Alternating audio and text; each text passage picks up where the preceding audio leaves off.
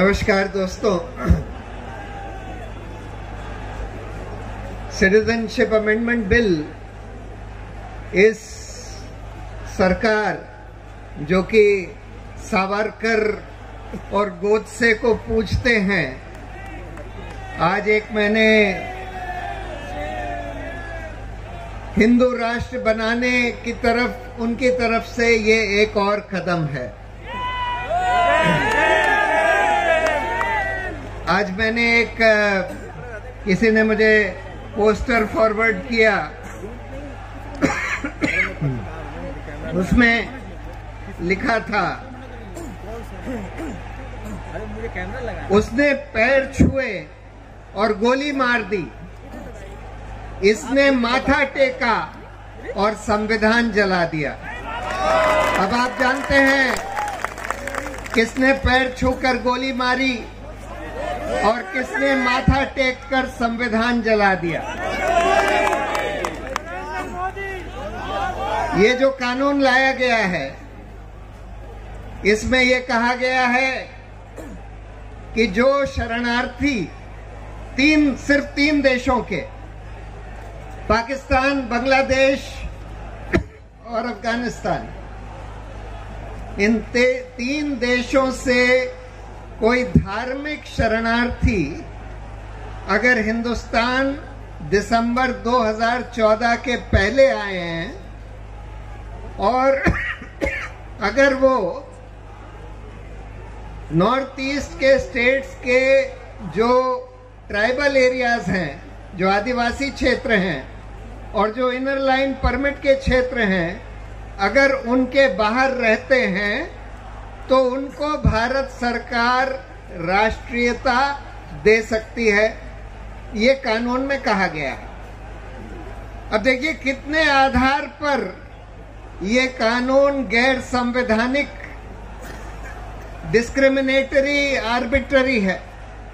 पहली बात तो इसमें लिखा है कि सिर्फ़ वो शरणार्थी जो कि हिंदू या पारसी या पाँच, छह धर्म के नाम लिखे हैं, उसमें मुस्लिम नहीं लिखा, उसमें कुछ और धर्म नहीं लिखे, मेन तो मुस्लिम नहीं लिखा, और उसमें जो नास्तिक हैं, जो कोई धर्म के नहीं हैं, उनका नाम भी नहीं लिखा, वो भी नहीं लिखा। फिर इन्होंने लिखा कि सिर्फ़ तीन देश, यानी कि पाकिस्तान, बांग्लादेश और अफ़गानिस्तान। उसमें श्रीलंका, जहाँ से बहुत सारे शरणार्थी आए हैं। म्यांमार, जहाँ से बहुत सारे शरणार्थी हिंदुस्तान आए हैं। तिब्बत तिब्बत से भी बहुत आए हैं। वो देश का कोई ज़िक्र नहीं किया। और बोला है कि 2014 से दिसंबर 2014 के पहले जो आ गए और इनर लाइन परमिट के जो क्षेत्र हैं नॉर्थ ईस्ट स्टेट्स में, और आदिवासी क्षेत्र जो हैं, उनको एक्सक्लूड कर दिया। तो ये कम से कम पाँच तरह से गैर संवैधानिक है। हमारा संविधान ये कैसा, कहता है कि किसी भी धर्म के आधार पर किसी से भेदभाव नहीं किया जा सकता। वो भारत का नागरिक हो चाहे ना हो धारा 14 आर्टिकल 14 जो हमारे संविधान का है, वो कहता है, किसी भी जने के खिलाफ धर्म के आधार पर भेदभाव नहीं किया जा सकता, चाहे वो इस देश का नागरिक हो, चाहे ना हो। और कोई भी ऐसा कानून नहीं बनाया जा सकता, जो धर्म के आधार पर भेदभाव करता है जो आर्बिट्ररी तरीके से ये तय करता है कि हम सिर्फ़ इन तीन देश के शरणार्थियों को यहाँ शरण देंगे या उनको नागरिकता देंगे। जो ये कहता है कि हम इनर लाइन परमिट और आदिवासी क्षेत्र को आर्बिट्ररी तरीके से इसके बाहर कर देंगे। और जो ये कहता है कि 2000 दिसंबर 2014 के पहले जो लोग आ गए उनको देंगे, उसके बाद जो आए उनको नहीं देंगे। इसका क्या आधार है? देखिए, इसका आधार संवैधानिक तो कोई है नहीं, तार्किक तो कोई है नहीं, इसका आधार नेशनल रजिस्टर ऑफ़ सिटीजन्स में छुपा हुआ अब नेशनल रजिस्टर ऑफ़ सिटीजन्स में क्या हुआ? पहले इन्होंने आसाम में बनाया जिसमें कहते हैं कि जो भारत के नागरिक हैं उनका नाम हम इस रजिस्टर में लिखेंगे जो नहीं है उनका नहीं लिखेंगे। और सबसे बोला कि तुम लोग अप्लाई करो और तुम लोग अप, अपनी एप्लीकेशन के साथ दस्तावेज़ दो बर्थ सर्टिफिकेट दो या जो तुमने ज़मीन खरीदी हुई है उसके कोई दस्तावेज़ दो या अपने स्कूल के दस्तावेज़ दो। अब पहली बात तो यही गैर संवैधानिक है, गैर कानूनी है कि किसी जने से आप ये बोलें कि तुम अपनी नागरिकता सिद्ध करो। अरे अगर सरकार को या किसी को कोई शक है हमारी नागरिकता के ऊपर तो वो आपत्ति उठाकर वो सिद्ध करे कि हम हिंदुस्तान के नागरिक नहीं हैं।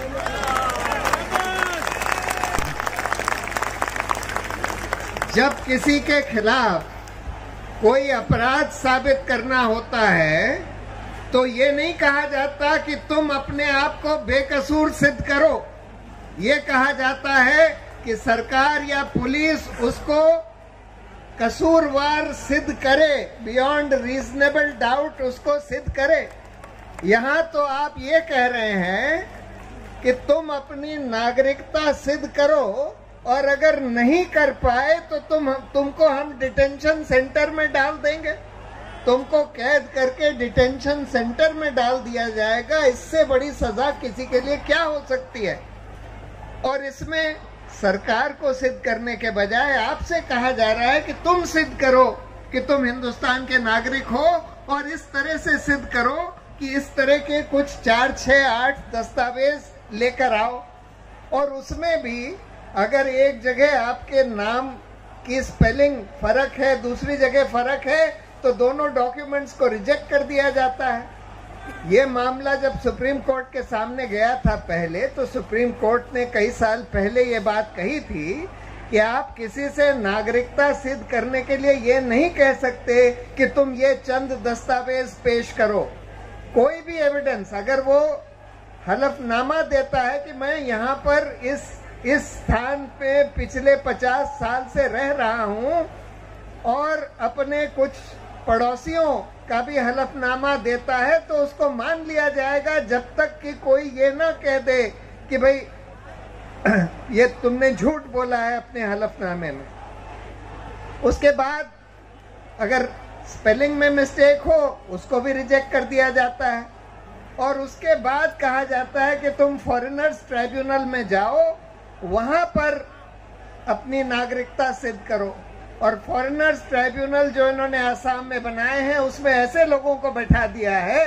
पहली बात तो सारे सरकारी जिनको कोई जज का एक्सपीरियंस नहीं है, उन लोगों को वहाँ बैठा दिया और फिर उन लोगों को ये बोला गया है कि तुम जिन, जितने ज़्यादा लोगों को गैर नागरिक ठहराओगे उतना ही तुमको एक्सटेंशन दिया जाएगा। एक एक साल के लिए उनको पोस्ट किया जाता है और एक्सटेंशन इस आधार पर दिया जाता है। और फिर कहा जाता है कि अगर फॉरेनर्स ट्राइब्यूनल ने आपको कह दिया कि नहीं आप हिंदुस्तान के नागरिक नहीं हैं चाहे ये ना बताएँ कि आप कहाँ के नागरिक हैं। देखिए ये लोग जिनको नेशनल रजिस्टर ऑफ़ सिटीजन्स में नहीं रखा गया है या जिसको फॉरेनर्स ट्राइब्यूनल कह देता है कि तुम हिंदुस्तान के नागरिक नहीं हो उनको ये नहीं बताया जाता कि कहाँ के नागरिक हो। यानी कि उनको स्टेटलेस ठहरा दिया जाता है कि किसी भी देश के नागरिक नहीं है और उनको डिटेंशन सेंटर में डाल दिया जाता है। ये बिल्कुल पूरा काम नेशनल रजिस्टर ऑफ़ सिटीजन्स का बिल्कुल अमानवीय तरीके से गैर कानूनी गैर संवैधानिक तरीके से चल, चल रहा है। अब इनके लिए दिक्कत ये हुई कि आसाम में जो बना रजिस्टर, उसमें 19 लोग 19 लाख लोग उसके बाहर आ गए। और उन 19 लाख में से अधिकतर गैर मुस्लिम हैं। ये सरकार तो ये चाहती थी कि सिर्फ़ मुस्लिम लोग उस रजिस्टर के बाहर रहें। लेकिन ज़्यादातर जो बाहर उसके आए, वो हिंदू या दूसरे धर्म के लोग थे, मुसलमान नहीं थे।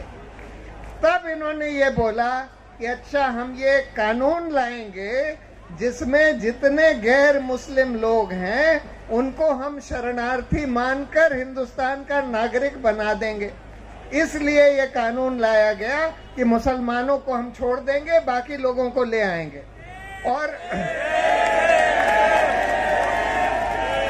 और क्योंकि नॉर्थ ईस्ट में हिंदू मुस्लिम के आधार पर वो लोग नहीं कह रहे थे, वो लोग नॉर्थ ईस्ट के लोग ये कह रहे थे कि भाई हमारे राज्यों में, आसाम के लोग ये कह रहे थे कि हमारे राज्य में, आसाम के बाहर के लोग बहुत सारे आकर आ गए हैं, जिससे कि हमारी आइडेंटिटी खतरे में हो गई है।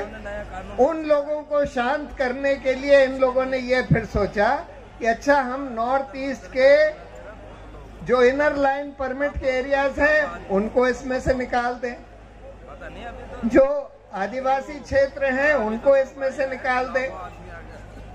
इसलिए ये सब किया गया। मतलब सब तोड़ मरोड़ के हर चीज़ आर्बिट्ररी पहले तो उसमें मुसलमानों को बाहर रखना आर्बिट्ररी उसके बाद उसमें ये कह देना कि जो सिर्फ़ इन तीन देशों से आए हैं, बाकी देशों से, बाकी देशों को बाहर रखना, ये आर्बिट्ररी फिर ये कह देना कि इनर लाइन परमिट के एरियाज़ या आदिवासी एरिया को बाहर रखा जाएगा, ये आर्बिट्ररी फिर उसके बाद 2000 दिसंबर 2014 की डेट लगा देना ये आर्बिट्ररी ये सब इसलिए किया गया कि भाई हम एक षड्यंत्र के साथ किसी तरह से ये कर दें कि मुसलमानों को बाहर कर दिया जाए और बाकी लोगों को अंदर कर दिया जाए।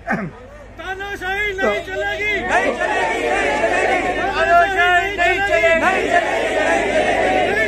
नहीं चलेगी। नहीं चलेगी नहीं चलेगी। तो देखिए अब इस देश में जुल्म और अन्याय का घड़ा पूरा भर गया है।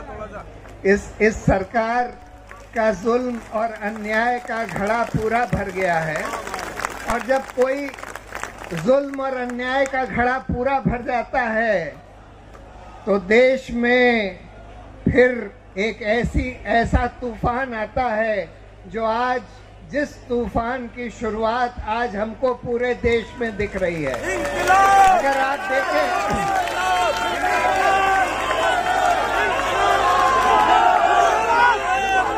और वो तूफ़ान और वो तूफ़ान जो सत्ता में तख्त पर बैठे हैं उनको उखाड़ फेंकता है। और वो तूफ़ान की शुरुआत आज हो चुकी है। जैसे सईदा जी ने बोला इस कानून के खिलाफ हमको सत्याग्रह करना चाहिए नॉन कोऑपरेशन करना चाहिए।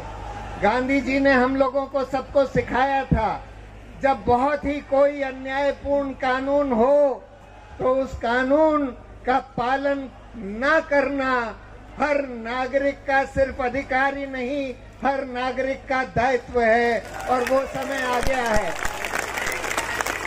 चाहे हिंदू हो, चाहे मुस्लिम, चाहे सिख हो, चाहे ईसाई, चाहे जैन हो, पारसी, सब लोगों को इस कानून का बहिष्कार करना चाहिए, सिविल डिसोबीडियंस करना चाहिए, सत्याग्रह करना चाहिए, नॉन कोऑपरेशन करना चाहिए, और सबको बोलना चाहिए कि हम नेशनल रजिस्टर ऑफ़ सिटीजन्स में अपना नाम दर्ज नहीं कराएँगे। आपको जो करना हो, जो हिम्मत हो आप कर लीजिए। आपको सब सब, इस देश के सब नागरिकों को डिटेंशन सेंटर में बंद करना हो, आपको अगर इतना दम है तो कर कर दिखा दीजिए। और जिस दिन जिस दिन इस नॉन कोऑपरेशन की आग, इस सत्याग्रह की आग भड़क उठती है देश में तो जैसे मैंने बोला, इस देश में भूचाल आ जाएगा, तूफ़ान आ जाएगा। हिंसा का तूफ़ान नहीं आना चाहिए। अहिंसा तरीक अहिंसक तरीके से इस देश में एक बड़ा तूफ़ान आना चाहिए, जो इन सत्ताधारियों को उखाड़ कर फेंक दे। यही यही मेरी उम्मीद है। और यही मेरी आशा है। इनकलाब इनकलाब जय हिंद।